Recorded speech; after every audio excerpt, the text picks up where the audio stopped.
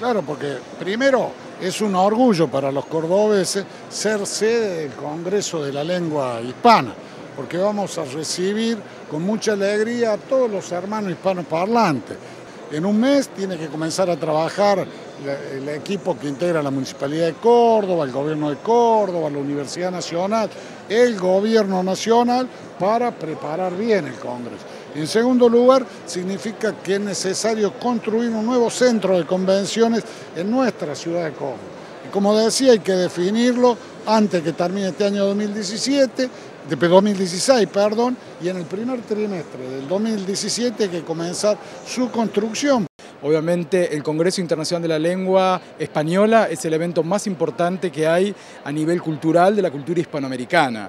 Eh, durante esa semana y de acá a tres años, Córdoba y Argentina en general va a ser capital del español, es decir, va a haber académicos y una producción científica eh, en la ciudad de Córdoba durante esos días de congreso, pero además el, mundo va a poner los ojos en Córdoba y en Argentina como, un gran polo de la enseñanza de español como lengua extranjera.